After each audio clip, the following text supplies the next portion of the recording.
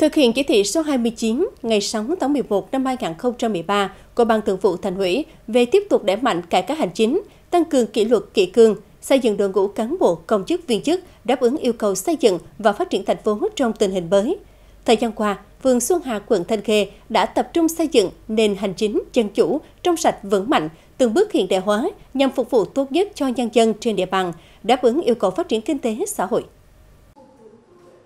Triển khai thực hiện dịch vụ công trực tuyến mức độ 3, mức độ 4. Hàng năm, tỷ lệ tiếp nhận hồ sơ trực tuyến trên địa bàn phường Xuân Hà đạt hơn 80%.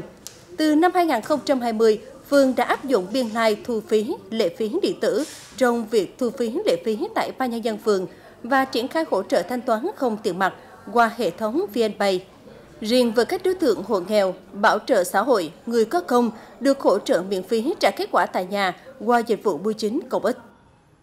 những vấn đề gì người dân không biết thì là đã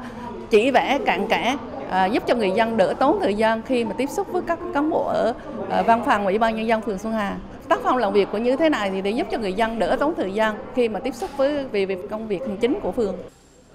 Ứng dụng công nghệ thông tin trong công tác cải cách hành chính, các phần mềm dùng chung như hệ thống quản lý văn bản và hồ sơ công việc, hệ thống thư điện tử công vụ được phường Xuân Hà đưa vào sử dụng có hiệu quả, Bên cạnh đó, vườn cũng phát huy tối đa các ưu thế của mạng xã hội trong việc tiếp nhận, giải quyết các thủ tục hành chính.